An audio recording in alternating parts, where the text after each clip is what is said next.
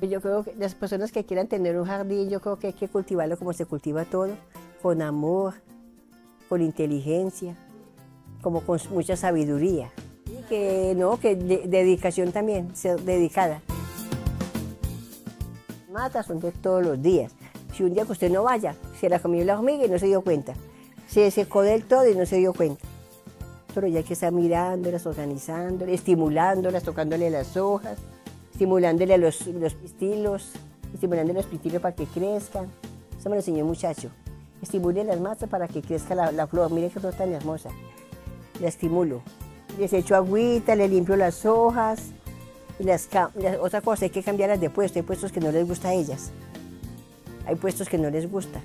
Usted la, usted la tiene ñurida, ñurida y la cambia de puesto y ya se volvió feliz cada que tengo tiempo les hago como, las baño, las baño, a estos anturios los baño, porque hago así todos los días, pero para que cojan toda la tierrita se moje, queda toda mojadita, entonces ya me dura por ahí 20 días que me puedo disimular.